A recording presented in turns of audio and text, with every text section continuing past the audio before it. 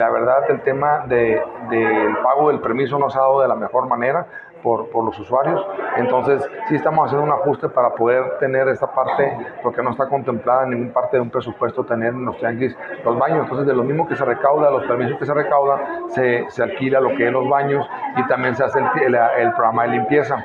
Entonces no hemos tenido ahorita una eficiente recaudación porque hay muchas, una gran cantidad de personas en las cuales pues no, no, se, está pagando, no se alcanza a cubrir eh, esas cantidades para poder dar el servicio este que se está dando. Como te comento, es un presupuesto que no estaba dado, es un presupuesto, eh, es un rubro que ha estado creciendo las últimas eh, dos años por tema de la pandemia, gente que no tiene, que ha buscado la manera de cómo subsistir de esta manera, ponerte ángel los fines de semana.